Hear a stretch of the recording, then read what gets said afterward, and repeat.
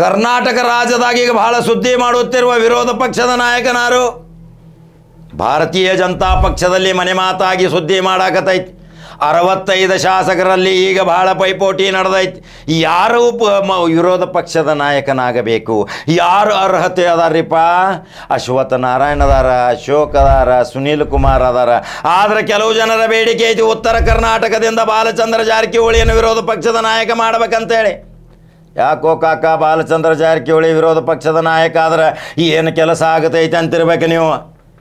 ಅಲ್ಲಿ ಆಡಳಿತ ಪಕ್ಷದಲ್ಲಿ ಇರುವಂಥ ಸಿದ್ದರಾಮಯ್ಯನ ಪ್ರತಿಯೊಂದು ಪ್ರಶ್ನೆಗಳಿಗೆ ಟಕ್ಕರ್ ಕೊಡುವಲ್ಲಿ ಇದೇ ವಿರೋಧ ಪಕ್ಷದ ನಾಯಕ ಬಾಲಚಂದ್ರ ಜಾರಕಿಹೊಳಿ ಆತಂದ್ರೆ ಕರ್ನಾಟಕ ರಾಜ್ಯ ಥೈ ಥೈ ಕುಣಿತೈತಿ, ಭಾರತೀಯ ಜನತಾ ಪಕ್ಷಕ್ಕೆ ಒಂದು ಬಿಗ್ ಟಾನಿಕ್ ಸಿಗತೈತೆ ಅಂತೇಳಿ ಉತ್ತರ ಕರ್ನಾಟಕದ ಲಕ್ಷಾಂತರ ಜನ, ಸಾವಿರಾರು ಜನ ಅಭಿಮಾನಿಗಳು ಬಾಲಚಂದ್ರ ಜಾರಕಿಹೊಳಿ ವಿರೋಧ ಪಕ್ಷದ ನಾಯಕ ಆಗಬೇಕಂತ ಅನ್ನಾಕತ್ತಾರ ನಿನ್ನೆಯಿಂದ ಎಡಬಿಡದೆ ನಮಗೆ ಫೋನ್ಗಳ ಸುರಿಮಳೆ, ದುರ್ಯೋಧನ ಇವಳಿಗೆ ಕೊಡಬೇಕಂದ್ರೆ ದುರ್ಯೋಧನ ಇವಳಿಗೆ ಅಷ್ಟು ಶಕ್ತಿ ಆಗೋದಿಲ್ಲ ಕಾಕ.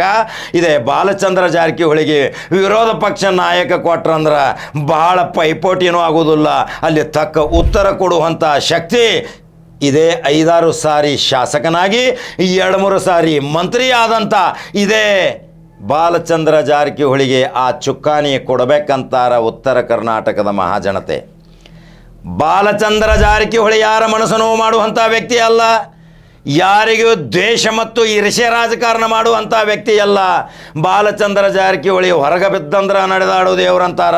ಈ ಎಲ್ಲರ ಜೊತೆಯೂ ಎರಡೂ ಕೈ ಮುಗಿದು ನಮಸ್ಕಾರ ಮಾಡುವಂಥ ಸೌಜನ್ಯ ಉಳ್ಳಂಥ ಈ ಬಾಲಚಂದ್ರ ಜಾರಕಿಹೊಳಿಗೆ ವಿರೋಧ ಪಕ್ಷ ನಾಯಕ ಸ್ಥಾನ ಕೊಟ್ಟರ ಉತ್ತರ ಕರ್ನಾಟಕದಲ್ಲಿ ಮೊಟ್ಟ ಮೊದಲ ಬಾರಿಗೆ ಉತ್ತರ ಕರ್ನಾಟಕದಲ್ಲಿ ವಿದೆ ವಿರೋಧ ಪಕ್ಷ ನಾಯಕ ಸ್ಥಾನ ಕೊಟ್ಟಂಗಾಗ್ತೈತಿ. ದಲಿತ ಮತ್ತು ಎಸ್ ಸಿ ಎಸ್ ಟಿಯವರ ಸ್ಥಾನವನ್ನು ಭರ್ತಿ ಮಾಡಿದಂಗಾಗ್ತೈತಿ. ಒಳ್ಳೆಯ ಸಂದೇಶ ಭಾರತೀಯ ಜನತಾ ಪಕ್ಷಕ್ಕೆ ಹೋಗೈತಿ.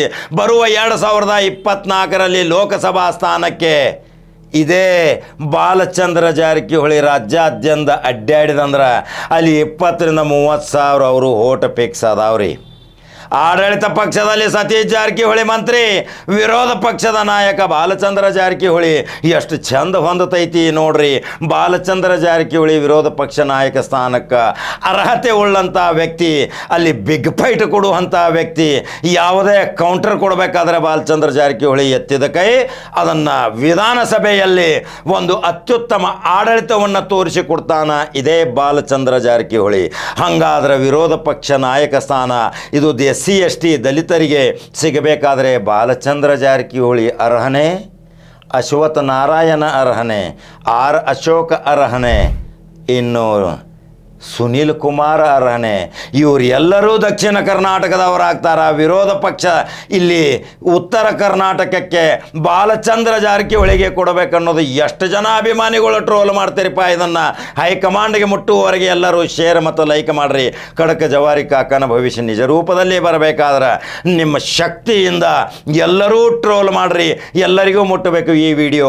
ಹೈಕಮಾಂಡ್ ನೋಡಿದ ತಕ್ಷಣ ಬಾಲಚಂದ್ರ ಜಾರಕಿಹೊಳಿಗೆ ಆ ಸಿಂಹಾಸನ ಕೊಡಾಕಿಂದ ಮುಂದೆ ನೋಡಂಗಿಲ್ಲ ರೀ ಯಾಕಂದ್ರೆ ಈ ಜಾರಕಿಹೊಳಿ ಸಾಮ್ರಾಜ್ಯದಲ್ಲಿ ಒಂದು ಶಕ್ತಿ ಐತಿ.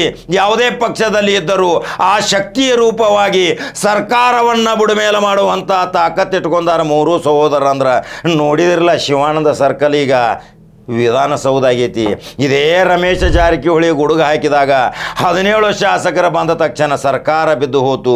ಇದೇ ಬಾಲಚಂದ್ರ ಜಾರಕಿಹೊಳಿ ಒಮ್ಮೆ ಸರ್ಕಾರ ಕೆಡವಿದಂಥ ರಾಜ್ಯ ಅಲ್ಲ ದೇಶ ಅಲ್ಲ ಜಗತ್ತು ನೋಡು ಹಂಗೆ ಮಾಡಿದಂಥ ಈ ಜಾರಕಿಹೊಳಿ ಸಾಮ್ರಾಜ್ಯದಲ್ಲಿ ಎಲ್ಲ ಜಾತಿ ಧರ್ಮದವರ ಜೊತೆ ಕೂಡಿ ಬಾಂಧವ್ಯ ಮಾಡುವಂಥ ಈ ಕುಟುಂಬದಲ್ಲಿ ವಿರೋಧ ಪಕ್ಷ ನಾಯಕನಾಗಲಿಕ್ಕೆ ಬಾಲಚಂದ್ರ ಜಾರಕಿಹೊಳಿ ಅರ್ಹನೆ? ಏನು ಅನಿಸಿಕೆ ಅದಾವ ನಿಮ್ಮ ನನ್ನ ಕಮೆಂಟ್ ಬಾಕ್ಸ್ನಾಗ ತಿಳಿಸ್ರಿ. ಮತ್ತು ಕಡಕ ಜವಾರಿ ಸುದ್ದಿ ಹಂಗೆ ಬರ್ತೀನಿ. ನಮಸ್ಕಾರ.